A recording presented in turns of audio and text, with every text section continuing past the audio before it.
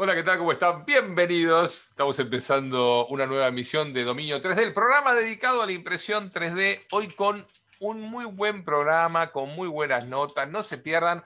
Lo tenemos a Fernando Purita contándonos sobre la realidad de lo que está pasando este, eh, con el tema filamento en la República Argentina, comentando también lo que vieron que estuvo Gino este, Tubaro, el chico este que hace las manos este, para, eh, las manos ortopédicas, bueno, que tuvo, estuvo en el programa de Mirta Legrand, habló de los problemas que tiene con el material, vamos a hablar también un poquito de eso, eh, vamos a hablar de, este, estamos este, eh, con una nota con Marcelo Pereira, que está en, este, en Eslovenia, que ya estuvo acá en Dominio 3D, que va a hablar cómo regular las ruedas excéntricas para, calibrar las impresoras Ender 3 Pro. Bueno, tenemos cantidad de cosas para hoy, figuras de acción, bueno, de todo. Así que Dominio 3D comienza de esta manera. Estamos en comunicación con Ignacio Mendiburo, otro entusiasta de la, de la impresión 3D que vive aquí en la ciudad de Buenos Aires. ¿Qué tal, Ignacio? ¿Cómo estás? Todo bien, hola, Claudio. Bueno, contanos, ¿qué, haces en impresión 3D? Eh, lo que estoy haciendo ahora es eh, imprimiendo figuras. Eh, al principio, figuras como esta. Al principio em, las hacía medio las que a mí me gustaban y, fui como, como entrando en grupos de coleccionistas donde más o menos me decían qué figuras faltaban y cosas así. Y, ahí un poco empecé a hacer las, un poco las que me gustan a mí y un poco las que faltan. Esta es la quinta, sexta pieza que hago. Ajá. Eh, y, ¿Hace, cuándo estás en, ¿Hace cuándo estás en impresión 3D? Y hace un año que tengo la máquina. Eh, y el tema es que yo ya estaba en el, tema de los renders y la, mm. todo lo que es el diseño 3D. Estudié diseño industrial en Bellas Artes, en La Plata. Y, y ahí medio como que conocí lo que es el 3D. Del 3D pasé a estudios de arquitectura. Y de estudios de arquitectura, cuando salió esto, nada, me costó entenderlo porque tenés una evolución, cuando compras una impresora es un poco eso, es, tipo, cuando te caes decís, ¿qué onda? Este, tenés que empezar a tocar todo, aprender un poco cómo viene la mano y nada, hasta que te encontrás la vuelta. Ahí medio como que, empecé a hacer un poco todo lo que podía modelar, porque hay un montón de cosas que uno modela y quedan atrapadas en la compu y, esta es una forma increíble de bajarlas a, de, tocar el modelado. de poder es una locura, no, no, no. para mí es mágico. La impresión 3D así tipo, llegó para, para, hacer este tipo de cosas y un montón de cosas más. Es una locura. Seguro. ¿Ese modelado es tuyo? ¿Lo hiciste vos? Este, este es un modelo de, una figura de una saga de Robotech. Y sí, sí, yo lo que hago es eh, uso en ZBrush lo lo modelo, más que nada para que las piezas encajen, ¿no? Porque, eh, o sea, uno tranquilamente puede imitar el juguete, pero bueno, hay decisiones que uno tiene que tomar que, no van a funcionar con este tipo de impresión, así que eh, es, eh, lo modelo yo, entonces puedo, tomar esas decisiones de, vínculos y cosas así que, que, nada, bueno, te va a ayudar a, que se sostenga la pieza, porque si no la pieza son pesadísimas, algunas el Invid hizo un Invid que es otro monstruo de otro, otro capítulo. Pesaba como dos, kilos y medio de pelea. Una locura, no, sí, sí, sí. Pero, pero nada, quedó buenísimo, quedó como un pequeño niño. Claro.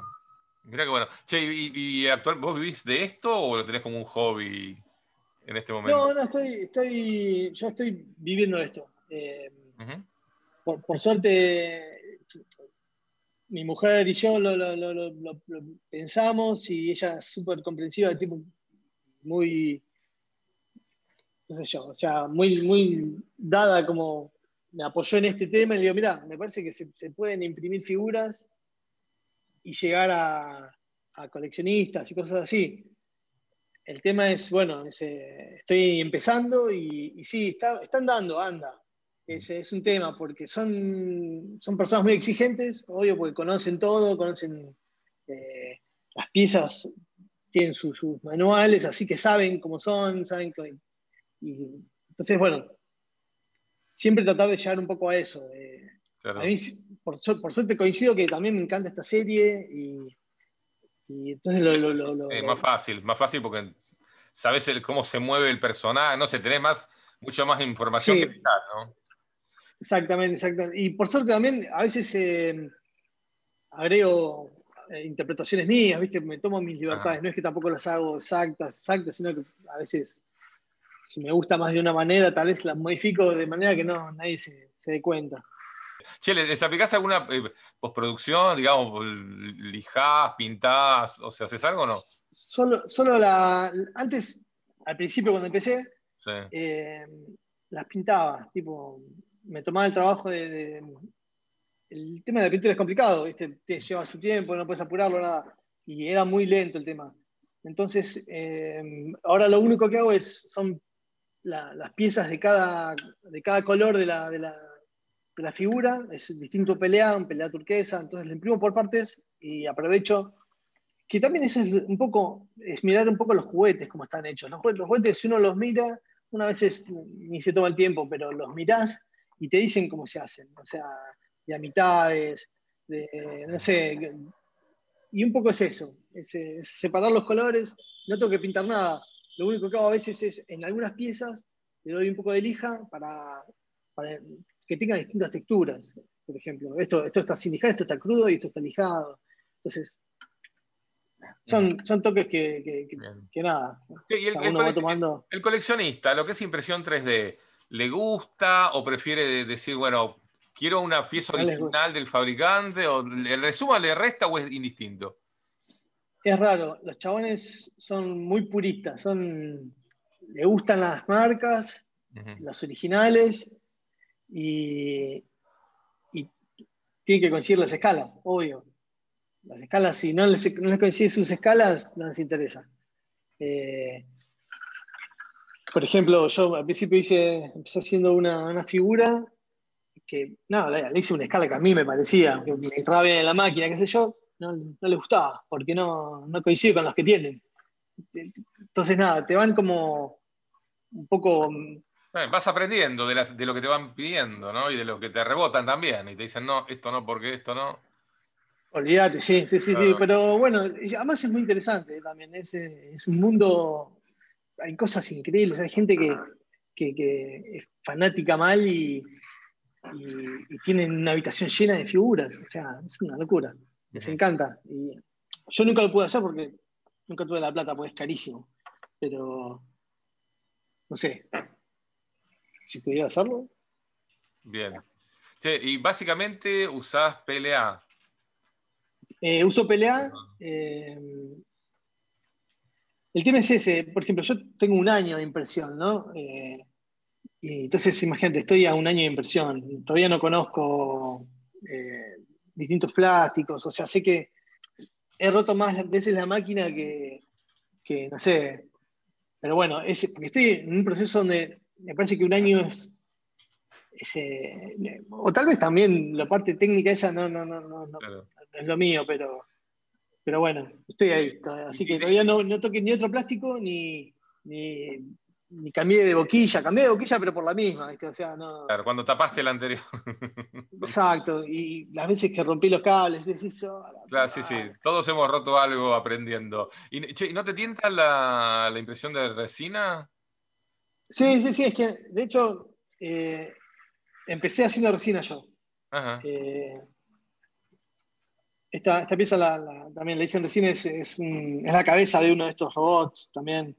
Eh, y lo que, lo que tiene es que eh, yo creo que elegí mal la marca porque la máquina es muy buena, pero es muy difícil de conseguir insumos y, y muy caro. Entonces, eh, esto es increíble, pero te, te, super frena en un proceso de mirándolo desde el lado de que yo vengo a hacer renders y de repente quiero, quiero que imprimir cosas en una escala más o menos más alta que la del hobby, ¿no? O sea, entonces, eh, eh, si pones en la balanza, te quedas con FDM totalmente, porque esto es increíble, pero eh, no sé, tal vez otras marcas sean un poco más accesibles. Yo tengo una, Frozen Shuffle. Es una marca, creo que taiwanesa, una cosa así. Y la compré por el tamaño de, cama, pero bueno, al final está ahí sin poder, usarse, es una, locura. En algún momento la voy a vender, así que si a alguien le interesa, está prácticamente nueva. Bien. por, último, eh, precio de estos, este, de estas piezas, si te las quiero comprar, ¿cuánto, cuánto valen? Y mira, yo estoy vendiéndolas, eh, por ejemplo, esta, esta sale 10 lucas, la, nueva. Y eh, esta sale 8, pero nada, ¿viste? los precios van cambiando, porque como está todo tan loco, lo, lo mido un poco con, tratando de pagar ciertas cosas, este tipo, pagar el plástico y, también algún tipo de repuesto, lo que sea. que, así que trato de no variarlos mucho los precios, pero bueno, es lo que pasa. Hace unos meses atrás estaban otros precios.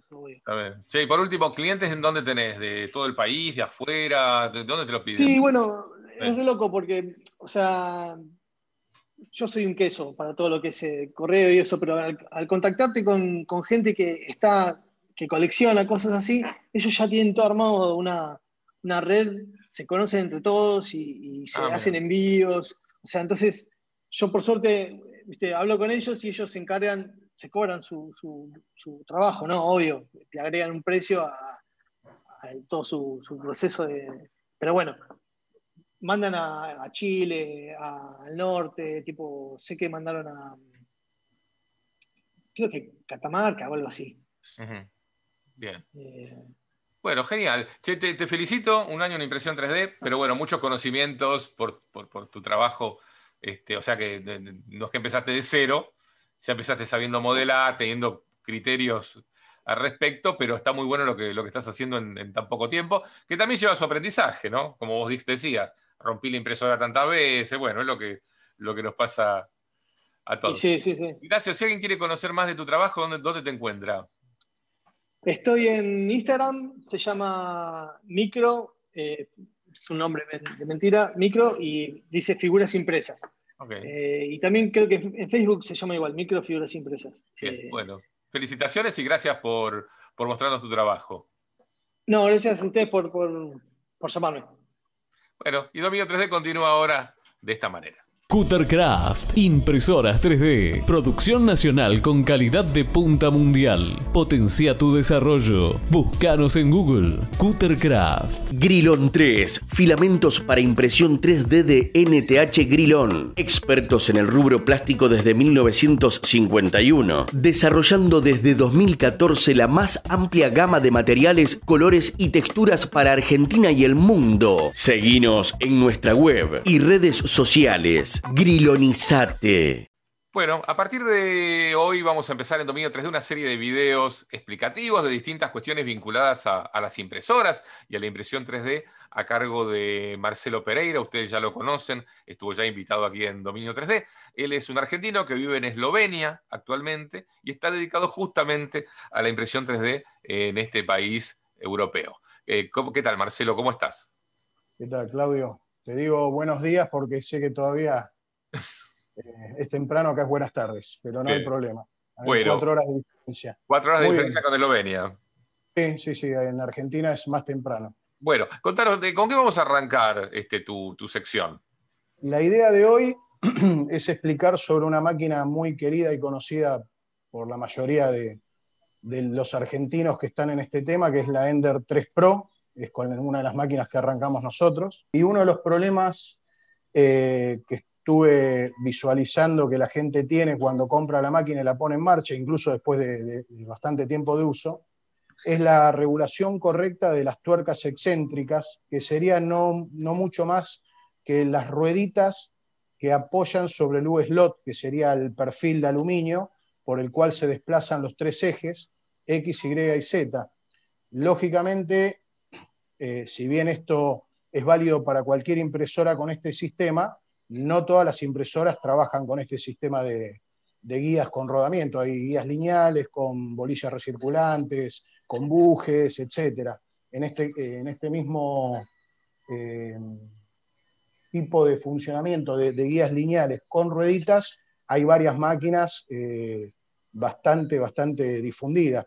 pero vamos a tomar hoy como ejemplo la Ender 3 Pro. Va para cualquier Ender, incluso las más grandes también. Cualquiera que tenga este sistema USB y rueditas, funciona este sistema de regulación. Te voy a compartir eh, un videito. Acá estamos viendo cómo trabaja la tuerca excéntrica sobre el riel de aluminio. Bueno, básicamente esto es para que la gente tenga idea de que estamos hablando antes de verlo en vivo en la impresora. Necesitamos para esto una, una llavecita de 10 milímetros que viene incluida, por lo menos en la Ender 3 viene incluida. Acá me tomé, bueno, eh, anticipé eh, aflojar esta excéntrica, que es la tuerquita está acá abajo, en este caso vamos a hacer el eje X, que está más visible, más fácil, y como vemos, es desastroso el movimiento que tiene, ¿no? O sea, tiene un juego, esto generaría vibraciones. Yo lo estoy exagerando para que la gente entienda. La forma de regulación es bastante simple, pero tiene como sus secretos. Acá abajo tenemos la, tuerca esta famosa excéntrica y poniendo la llave, ahí vemos que está el movimiento todavía, vamos dándole ajuste hasta que va a llegar un momento que empieza a, dejar de tener ese juego. Bueno, en este, en este caso ya está, ¿no? Pero ¿cómo comprobamos que está bien ajustado? La idea sería mover cada una de las rueditas de manera individual con el dedo y, notar que ninguna de ellas resbala. Acá son tres rueditas. Hay casos que tienen más cantidad, como algunas máquinas que tienen cuatro o cinco rueditas. Y lo importante de esto es que cuando uno desplaza, se desplaza por el eje, no se sienta ningún salto eh, y tampoco se frene no, se fuerce el motor porque puede perder pasos. Entonces, ¿qué es lo que logramos con esto? Que la máquina no tenga saltos eh, y también que la impresión salga correcta, porque esta misma regulación que estoy haciendo acá se utiliza para el eje X, en este caso que es este, el eje eh, Y, que sería la cama, y también el eje Z, que sería el que mueve justamente el, el nozzle para que sube y que baje la pieza. Entonces, si bien parece algo sencillo, eh, particularmente en la Ender 3, tenemos el problema que al tener un solo motor para eje Z, es bastante complicado regular lo que sería el carro de movimiento del X en lo que es movimientos de subida y bajada, porque sucede que muchas veces, como la máquina esta viene muy desarmada, viene casi por completo desarmada, cuando uno arma estas piezas queda como cruzado esto y hace que eh, se tienda el eje a mover eh, de manera forzada. Entonces hay que tomarse el trabajo de aflojar esta parte y centrar todo bien para que suba y baje libremente y se comprueban lo mismo que estábamos hablando del rodamiento de las rueditas, ¿no? Uno tiene que ver que ninguna esté resbalando. Si bien parece algo simple, es algo súper importante. Así que bueno, esto sería el, secreto de la regulación de ruedas, que es muy simple, pero mucha gente no lo sabe hacer. Otra cosa, tampoco hay que ajustar demasiado, porque aparte de forzar el, motor y a veces calienta, las rueditas estas, si bien son de un plástico muy duro, se tienden a, romper y por más que a veces vienen de repuesto, eh, cuando se empiezan a, gastar, empiezan a trabajar de manera despareja y eso genera justamente desperfectos en la terminación de los modelos que vamos a hacer en 3D. Bien, ahora entonces, Claudio, les voy a explicar otra cosa muy simple, pero que también veo que la gente le cuesta un poco entender eh, el secretito de cómo nivelar bien una cama y particularmente el Ender 3 eh, tiene los resortes bastante blandos de, serie y es medio complicado lograr una buena calibración, además de que no tiene ninguna asistencia de calibración.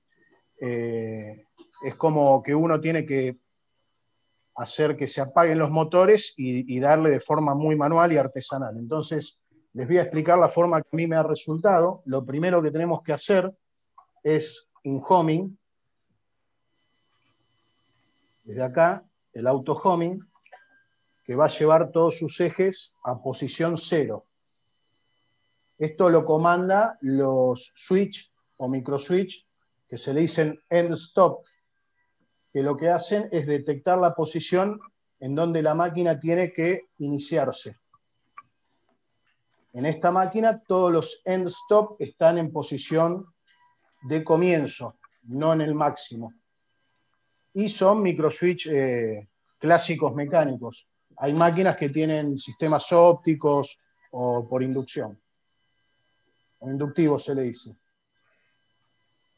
Ahí quedó en la posición cero de los tres ejes, Z, X, Y. Entonces lo que hacemos es desconectar los motores, disable steppers. Ahí desconectamos los motores. No hay que, no hay que tocar mucho porque si no perdemos la regulación. Tomamos una hoja, una hoja de papel. Por lo general la hoja de papel habitual de 75-80 gramos está en el orden de los 0,10 milímetros.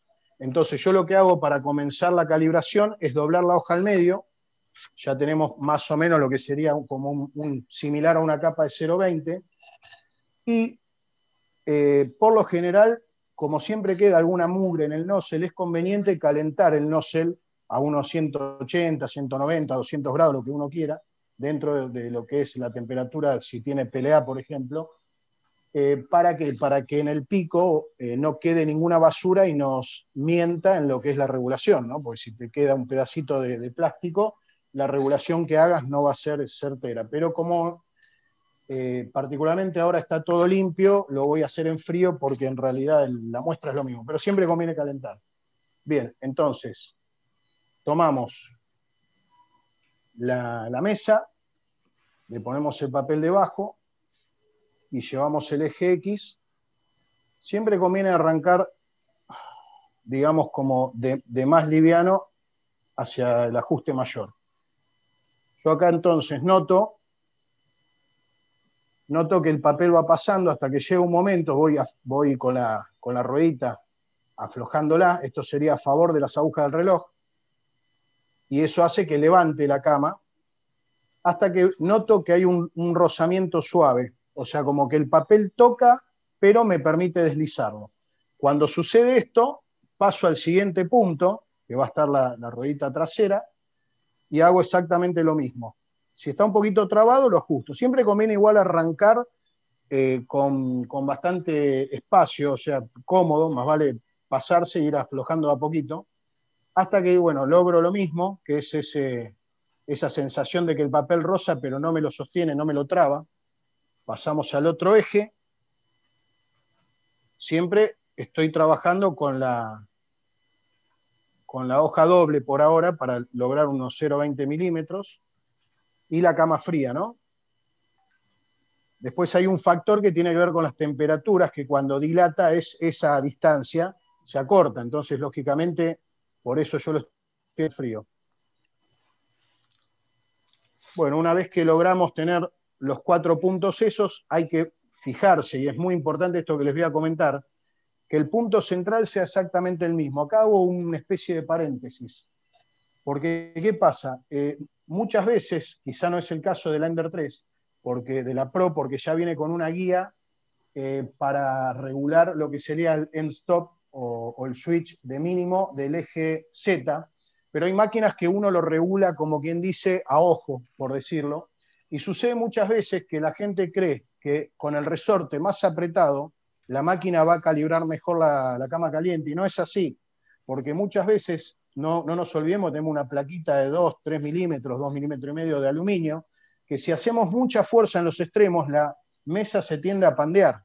Por lo general se pandea hacia abajo y el punto central, a veces es muy poquito, pero ese poquito hace que, que genere un warping, que se despegue la pieza eh, que nos traiga problemas. Entonces, siempre hay que tener en cuenta que los resortes no tienen que estar ni muy ajustados, tampoco muy flojos, pero que una vez que regulamos los cuatro puntos laterales, el punto central tiene que estar exactamente igual. Si no queda eh, cómodo o queda muy apretado, es porque estamos deformando la mesa, o en algunos casos he escuchado que algunas impresoras low cost vienen con problemas de, en la cama caliente y bueno, ahí ya hay que empezar a trabajar con lo que es colocar balsas en la impresión para poder equiparar ese error.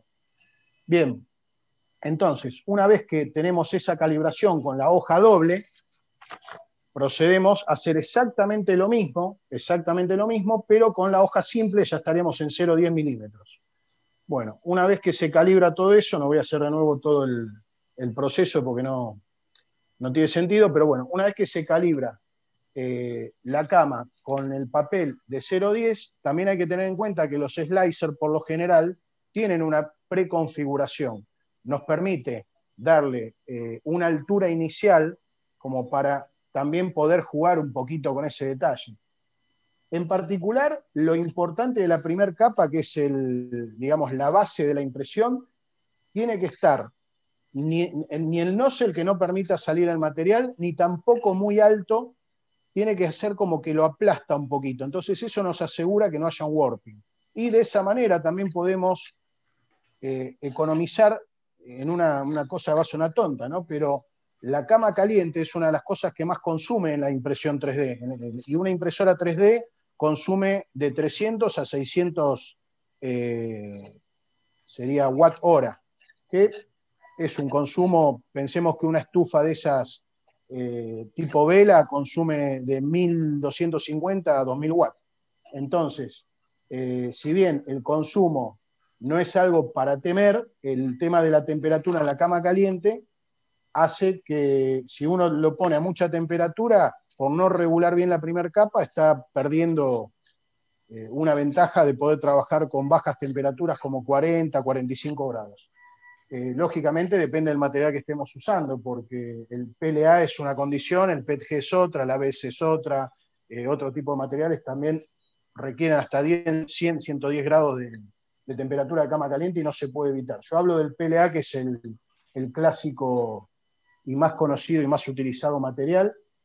Y otro detalle a tener en cuenta, ya que hablamos del Ender 3, lo comento para la gente que lo tiene, yo le hice algunas mejoras que son simples, pero realmente valieron mucho la pena. Una de ellas es la ruedita esta que se puede descargar de internet sin cargo, es una ruedita que ayuda a poner y sacar el filamento. Después, esto sí lo compré por internet, es eh, un, una guía de eje Z para evitar las vibraciones, que está muy bueno. También se puede fabricar comprando un rulemancito 608, que sería este, que, va a la varilla esta, tiene 8 milímetros de interior, y eso eh, se puede imprimir y hacer. Lo que pasa que por el tipo de, no tanto de fuerza, sino de, exactitud que tiene que tener, es preferible gastarse un poquito y comprar o fabricarse esta pieza con algún tornero o alguien que lo pueda hacer. Después, bueno, otra mejora es el, lo que sería el tubo de Teflon. Yo le, puse un Capricorn, que la verdad tampoco son cosas caras, eh, y mejora muchísimo porque el Capricorn, aparte de soportar temperatura continua de 250 grados, eh, tiene la característica de que tiene menos holgura en el filamento interno. Entonces hace que, el, que justamente la presión que ejerce el extrusor sea mucho más precisa sobre el hotend. Así que bueno, próximamente, si la gente quiere, podemos enseñar cómo, cómo desarmar el en cómo hacer limpieza interna cuando se nos obstruye, eh, lo que la gente pida. Estamos tratando de, hacer lo básico para la gente que recién comienza. Entiendo que todo esto, el que ya está hace rato en impresión 3D lo tiene más que claro, ¿no? Pero bueno, eh, la idea es esto, poder darle una mano a los que recién arrancan en el mundo este de, de la impresión 3D.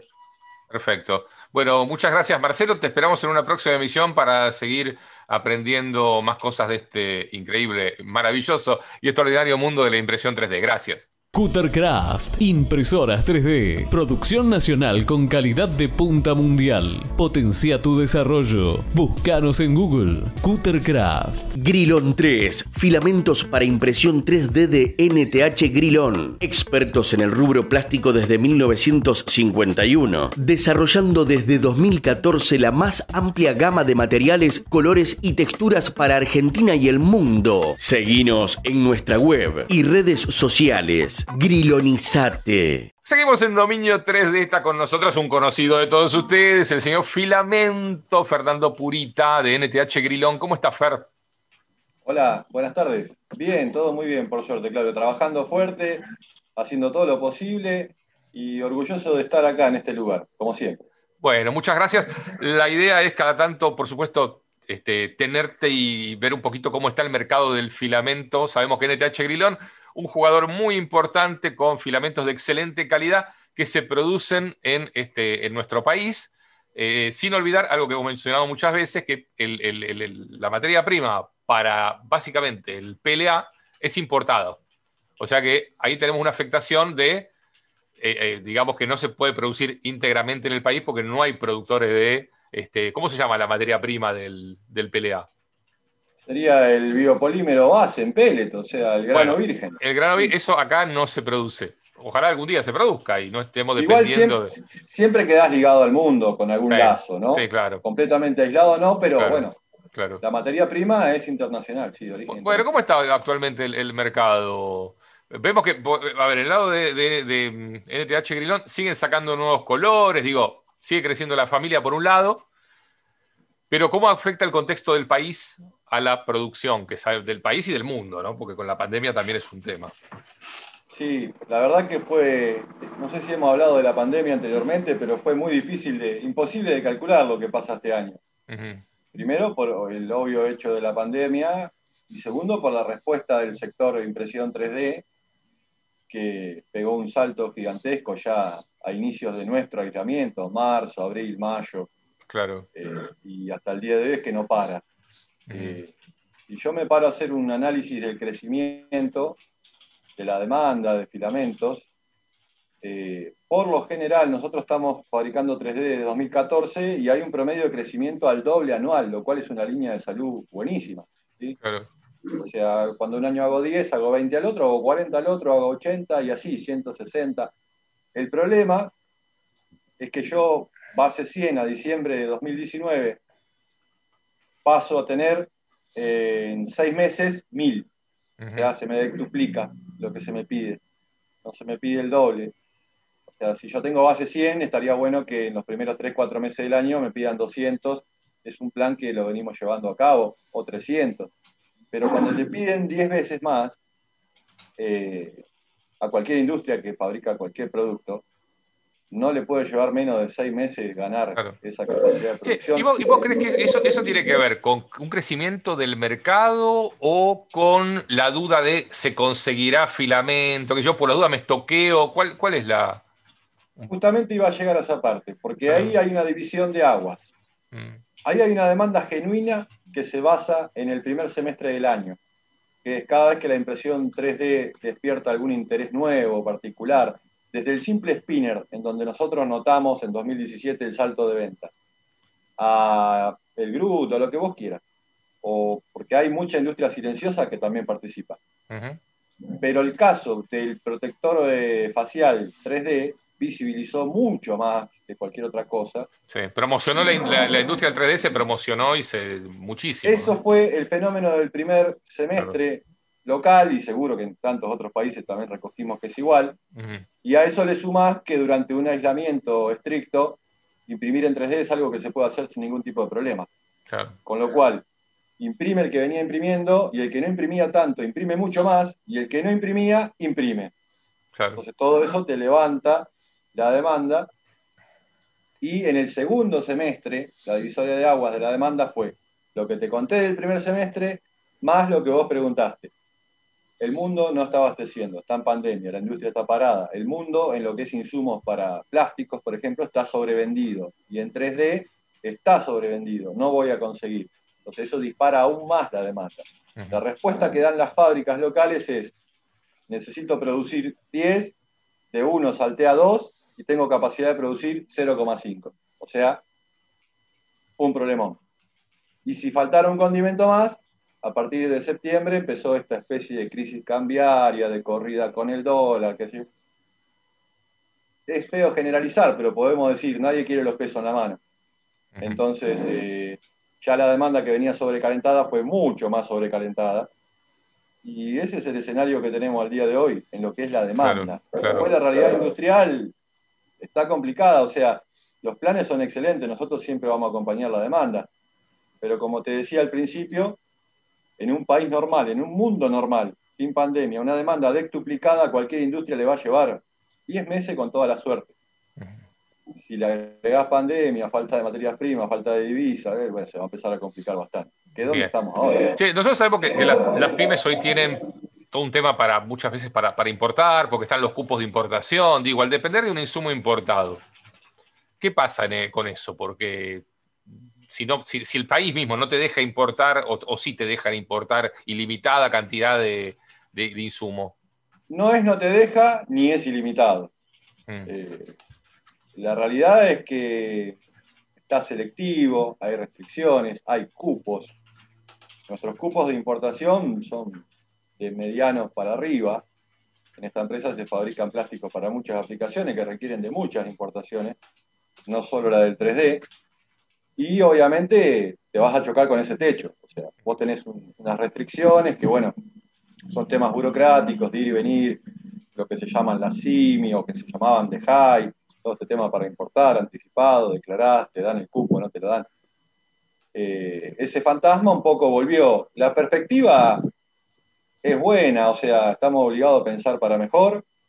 Eh, yo creo que el país va a dar buenas señales porque nunca nunca podría ahorcar a la industria nacional, sería un crimen, no le quedaría nada por hacer después de eso, quiero creer. Bien. Eh, ¿Y actualmente cómo está? ¿Hay provisión, digamos, normal de todos los colores? ¿Cómo, ¿Cómo está la cosa por el lado de ustedes?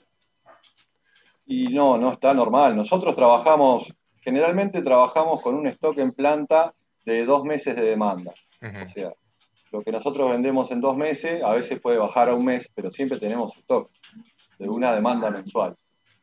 Eso desapareció en marzo, ya directamente nunca más tuvimos stock. Trabajamos con deuda todo el tiempo. Eh, obviamente el interés de las nuevas cuentas en participar, que esto tampoco lo comenté, a nivel regional, eh, con la pandemia que en China comenzó en diciembre, enero, febrero, China dejó de abastecer del producto terminado a toda América. O sea, tenían menos para fabricar, privilegiaron otras plazas y retasearon en Sudamérica con lo cual, ubicados en el mapa, es como que todos se dieron vuelta y miraron para Argentina y empezaron a pedir, a pedir, a pedir, a pedir. Así que eso también hizo que los stocks se resintieran. Obviamente, muy rápidamente nos pusimos selectivos a la fuerza. Empezamos a privilegiar a nuestras cuentas con recorrido, nuestros representantes mayoristas habituales, nuestras plazas internacionales ya establecidas. Y todo eso hace que estemos no superior al 30-40% de lo que se nos pide.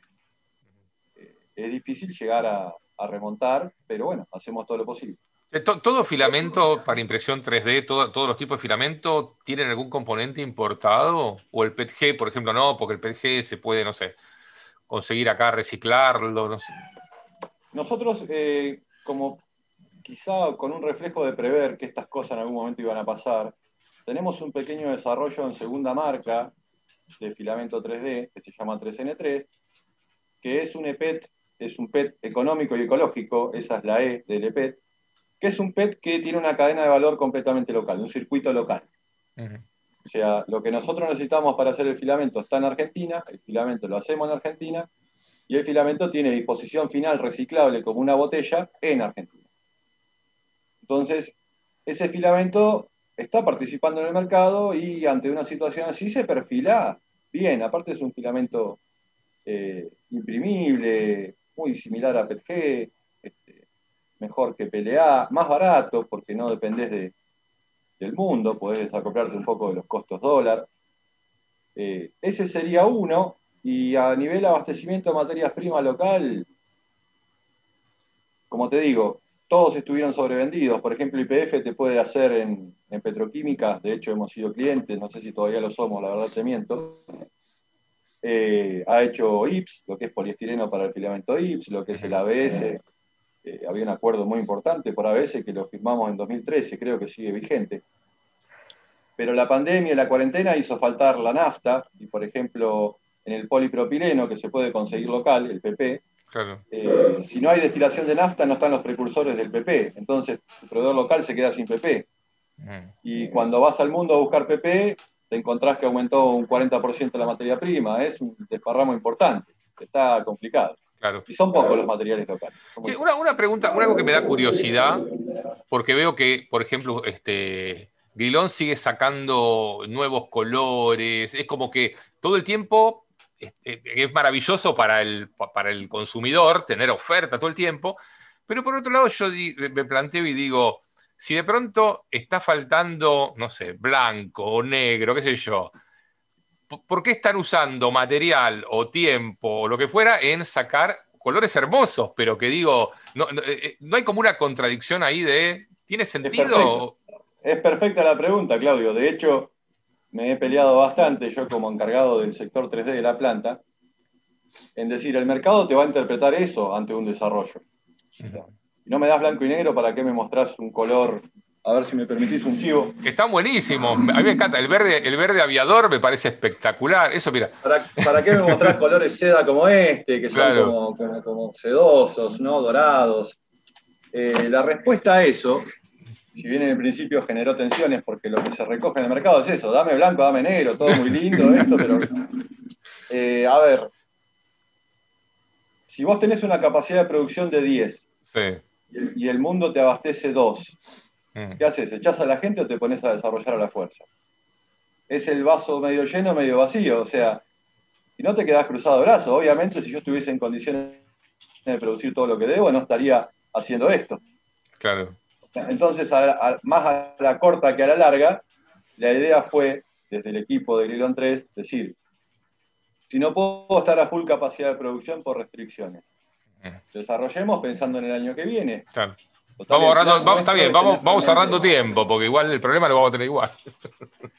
Eh, claro, y si no te quedás de brazos. es verdad. Es verdad. uno como, no, uno como no, está en la industria, no tiene la cantidad de empleados de Grilón, no vive la realidad, hay, cosas que no entiende que, aunque con, con, una explicación se entienden. Porque hay que estar en los zapatos de. claro. claro. Si yo tengo 10 toneladas de PLA para hacer el PLA que le debo a todo el mundo, si yo me pongo a hacer esto, realmente me vienen a buscar y me matan. Pero, pero como no están, como no están, Está bien. Che, vos viste que el otro día estuvo en el programa de, de Mirta Legrand, eh, tuvo Gino, que dijo lo siguiente.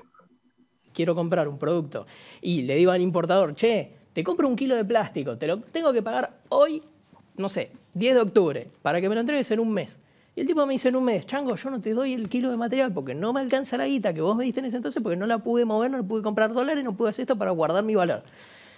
Yo no puedo producir después. Yo no te puedo entregar una prótesis. ¿Y qué va a pasar? El tipo que no puede adquirir una prótesis, el chico que no puede usar una mano, la persona que no puede ir a escribir, me va a decir, pibe, ¿y mi prótesis dónde está? Y yo que voy a ir, che, más arriba, che, ¿dónde estás? ¿Dónde produciste el material? ¿Dónde lo compraste? ¿Dónde lo trajiste? No, yo no lo tengo. ¿Por qué? Ah, anda en, cada vez más y más y más arriba. Hasta que el productor después se encuentra con una pared enorme donde dice, hasta acá llegamos. Bueno, mucho, cuando, mucho, mucho cuando escuchamos esto dijimos, ¿pero de qué está hablando? Si filamento, parece que no se consiguiera material, ¿no? Que hubiera quedado la Argentina sin material. Y digo, pero si yo voy y compro material, digamos, lo puedo conseguir. Por ahí el color que quiero me cueste más, pero para una prótesis de una mano el color no sería tampoco esencial. Digo, ¿de qué, ¿nos puedes traducir de qué está hablando? ¿O qué supones que le puede haber pasado? Tres cosas. La situación no es la ideal. Y cuando no es la ideal, se te complica. Mm. Eh, segundo, los jóvenes, yo les valoro esa espontaneidad de que sufren que las cosas no funcionan como tienen que funcionar. Y la tercera conclusión es, me voy del país. Está muy de moda eso. Realmente no está bien el país. No es que yo me ponga a defender, estamos bárbaros, no está bien. Tampoco si te vas a cualquier lugar del mundo ahora está bien, ¿eh? O sea que no te... No, de hecho, de hecho, el mundo estuvo en sobreventa y en falta por la pandemia. Anda Europa ahora que están en segunda ola. Mm, por eso. Eh, pero de los que dijeron me voy, algunos se han ido, y yo tengo trato con algunos, y son muy francos, me dicen, bueno, sí, ya, me pasa esto. Y no es bueno. Pero, él puntualmente, ¿a qué supones que se refiere? ¿Qué, qué, qué, qué te parece que le pasó? Que lo deja, lo deja, libera la bronca, que está muy bien. Obviamente el tipo está ayudando y se ve en un quilombo para ayudar y a cualquiera le da bronca. Eh, está en los medios, o sea, vos tenés que tirar un título fuerte para, para levantar impacto. O sea, es un caso que tuvo con algún proveedor de plástico, que es replicable un montón más, pero no es que te deje sin opciones. Eh, el feedback que le dio ese proveedor eh, es, normal cuando vos omitís, eh, cometés el error, digo, omitís decirle, no te lo puedo vender previamente porque no tengo garantías de poder hacer la operación de importación. O sea, él, pagó un plástico, le pagó un plástico a un proveedor Sí, le dijo, te sale mil pesos, te lo entrego en un mes. Sí. Y cuando dijo, te lo entrego en un mes, puso las manos en el fuego por algo que yo no lo pondría en el contexto que estamos. Obviamente que pensó para bien, porque es un importador que debe venir operando de hace mucho tiempo y todo mal que mal fluyó. Pero la, la situación de ahora, o sea, ese tipo de compromisos con el cliente final o con cualquier cliente, de hecho nosotros no estamos vendiendo a plazo, a término, eh, es no es una política que yo comparta, porque después pasa lo que le comentaron a Gino, y, lo peor de todo es que hasta que se entera pasa un mes y él tiene, está aguantando toda su demanda, y, todo eso es para ayudar, con lo cual te da mucha más bronca, no es que es tu negocio. Claro. O sea, podemos decir que él, ponele, le dio mil pesos al, a su proveedor. Y le dijo, en un mes te entrego. Y al mes el proveedor dijo, mira, no te lo consigo, toma, te devuelvo los mil pesos. Es lo peor que te puede pasar. De, de hecho, a ver, cambiando de rubro, eso pasa en los acopios de materiales para la construcción. La gente pagó todo el material de la obra en marzo, 500 mil pesos, y se lo devolvieron en septiembre, 500 mil pesos, y se ardió Troya. Claro. Es complicadísimo eso. No debería, debería No, claro. O sea, ahí no le puedo echar, o sea, parte es culpa del contexto, del país y qué sé yo, pero también del proveedor que no le puedo echar toda la culpa al, yo no comparto, yo no comparto. La, decisión comercial que toma el proveedor no comparto. Tampoco lo quiero lapidar porque el proveedor tiene que seguir pagando impuestos, servicios, sueldos en algunos casos. el tema es cuando juega y se queda con la plata de uno por ahí un mes, dos meses, tres meses, y después con, esa misma plata vos tenés que ir a comprar algo en dólares y el dólar subió y te... Igual, te digo, en este caso voy a hacer una defensa corporativa a los proveedores. A ver. Eh, el proveedor no tiene por qué caer en esa mala onda que se generó siendo argentinos. Si vos tomás una preventa en pesos, te pasás al primer dólar que consigas en la calle y le tomás el pedido dolarizado a un tipo de cambio de locura, ¿no? Porque la brecha no sé cuánto es, pero es el doble o más. Y sin embargo no lo hizo tampoco. Porque de esa forma, igual vas a tener el mismo problema, ¿no? Pero podés blanquear que le vas a cumplir de alguna forma o no. Pero al doble de precio nadie lo va a pagar tampoco. Seguro. Bueno, Fer, sin salida. Yo te agradezco muchísimo este contacto con Dominio 3D, creo que está buenísimo. Ayuda a entender algo que es para nosotros básico, que es el insumo, porque sin insumo no hay impresión 3D y, el, y, Grilón es un proveedor importantísimo de la industria, con, aparte con, productos de calidad. Yo visité la fábrica, estuve en Chivilcoy lo vi, este, y realmente es una empresa modelo que tiene, no sé, más de 70 años, con lo cual, este, nada, tu, visión y tu, en esto, contarnos un poco cómo está el mercado, creo que nos ayuda mucho a entender y a prepararnos un poco también para lo que viene, ¿no? Conocer un poquito en qué está la Aparte, cosa. Ha, ha, visto, ha visto crisis en 70 años la empresa, ¿eh? ha visto Nunca se sabe cuál sería la última, cruzamos los dedos. Que esta sea una más y salgamos rápido de Bien, bueno, Fernando Purita de NTH Griló, muchísimas gracias. ¿eh? Un placer como siempre, Claudio. Hasta luego. Bueno, che, gracias a todos eh, por estar ahí. Creo que tuvimos un programa completo, eh, con cantidad de información, así que muchísimas gracias por habernos acompañado. Eh, recuerden que en 10 minutos está empezando en vivo Dominio Digital y si no, nos volvemos a encontrar la semana que viene, los viernes de 4 a 5 horas de Argentina, en Dominio 3D. Chao.